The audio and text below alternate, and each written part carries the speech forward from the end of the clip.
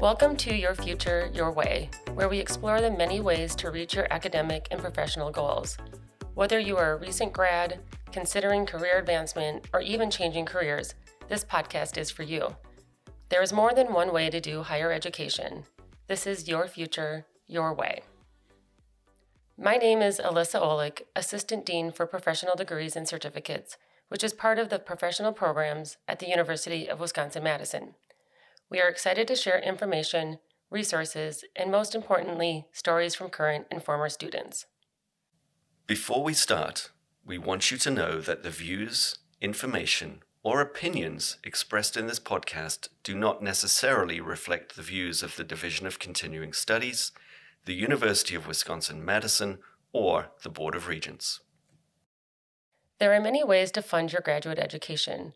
In a previous episode, we shared information about scholarships, and today we're going to focus on other types of financial aid.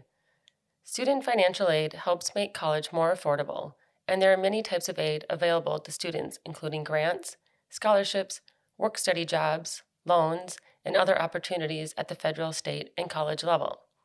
Some aid is free and does not have to be paid back, such as scholarships and grants. Other financial aid is work study, where you don't have to pay it back, but you do have to work for it. And some types of financial aid needs to be repaid with interest, such as loans. Therefore, it is important to look carefully at your options to make an informed decision based on your specific needs. An important first step is to fill out the FAFSA, or Free Application for Federal Student Aid, at studentaid.gov. Current and prospective college students complete the FAFSA to determine their eligibility for student financial aid.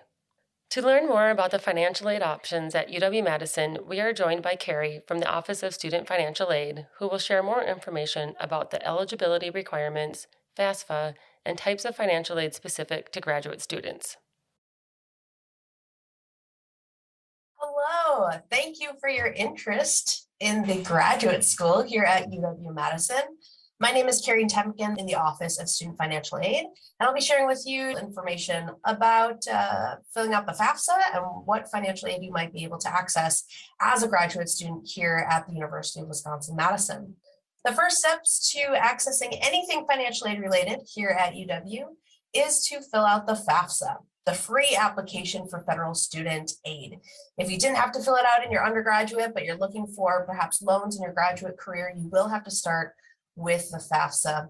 Now, one thing that's different as a graduate student than an undergraduate is that you do not need to have parental information on the FAFSA. So be prepared to only produce your own financial information when you're filling out the FAFSA for graduate school. Now you can fill out that, that FAFSA the year before you're anticipating starting.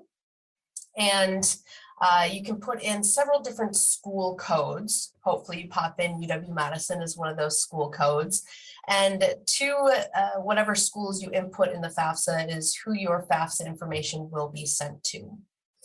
The FAFSA is something that can be completed every year that you expect to access financial aid. When you are filling out the FAFSA, some things that you'll need you will have to have a FSA ID. That's basically the login credentials to be able to begin the FAFSA and to, to digitally sign it. If you filled out the FAFSA in your undergrad, you'd use that same FSA ID.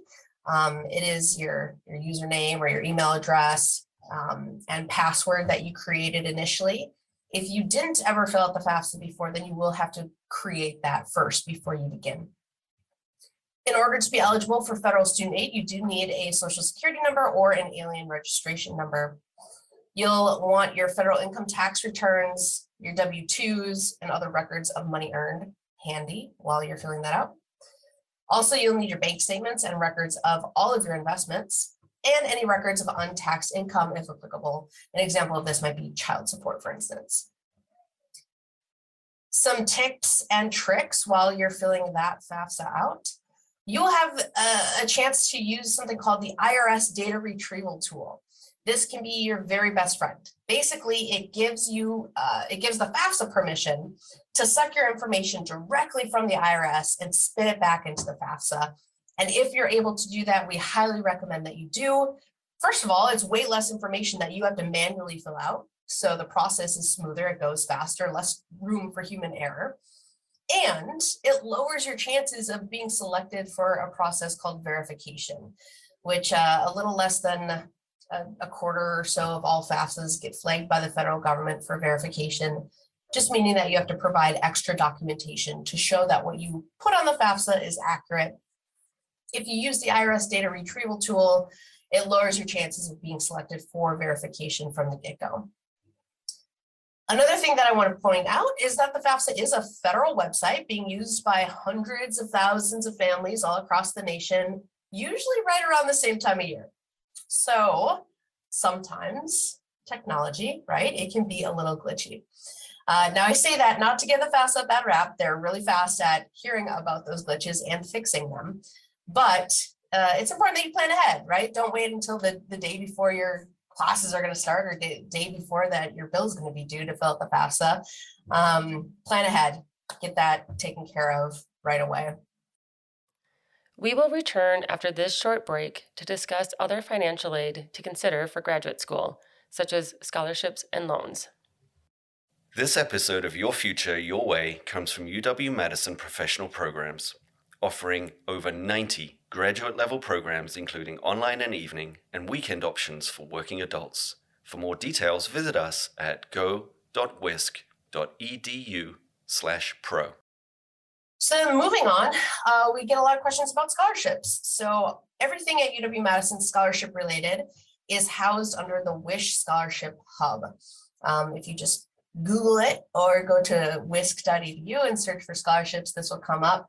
Um, that's where our scholarships are posted. So as soon as you apply to the university, you are able to look at the Wish Scholarship Hub and see what scholarships might be available. Don't wait until you're accepted because deadlines have probably passed at that point. So do keep an eye on that Wish Hub. Um, graduate students have access to loans. So loans we know have to be repaid and repaid with interest. Just by filling out the FAFSA, you do have access to federal direct loans. So I will start with that but you also have access to private and grad plus loans as well. So I, I'll dig into all of those things. But the first thing here is that federal direct loan. That is, again, that loan that you have access to just by filling out the FAFSA. This loan is, it'll show up on your financial aid offer, and it is unsubsidized, meaning it does accrue interest while you're in school. The grace period for that loan is six months. So that means that you don't have to start making payments until six months after you graduate or drop below part time. You do have access to $20,500 in federal direct loans per academic year. So that's fall, spring, and summer. If you need to borrow more than the $20,500, you have two options. These are separate from your financial aid offer. There are separate applications. The first is a grad plus loan. This is a loan that is through the federal government. So you can find that at FAFSA or at uh, studentaid.gov, excuse me. It is uh, similar to the unsubsidized federal direct loan in that there's a six month grace period. You don't have to start making payments till six months, or excuse me, um, it's similar to the unsubsidized uh, loan in that it is unsubsidized. It does accrue interest while you're in school. Um, there is an option for in-school deferment, so you don't have to make payments on that um, loan until six months after you graduate.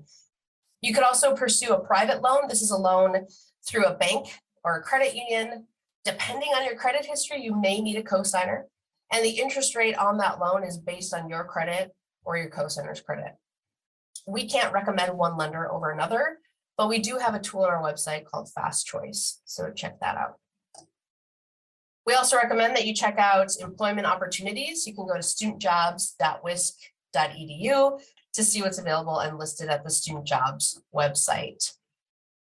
So let's say you get uh, accepted, you celebrate, hooray, you choose to come here. Maybe you're using your uh, federal direct loans to help cover the cost. What are some other resources available to you to uh, uh, cover any gap in the cost of, of attendance? The first I already talked about, graduate plus and private loans. The second is scholarships and departmental funding. The third, employment, already talked about all those, right? So when you're getting your financial aid offer, be sure to keep these things in mind. And then there's also some other financing options as well to fill in that gap. The first is an installment plan. We have something called Badger Pay, which you can enroll in for $50 per semester, and it splits up your payments into three separate installments for the semester. The rest of the financing options exist in the world. Students have taken advantage of them, but they're outside of the purview of a financial aid office to give any advice about. Lastly, just want to point out that we are here to answer your questions. So if you have questions, just give our office a call or send us an email. I also recommend that you follow us on social media. We post about different financial wellness events, different financial literacy tips, scholarships, all sorts of things. So do follow us on social media.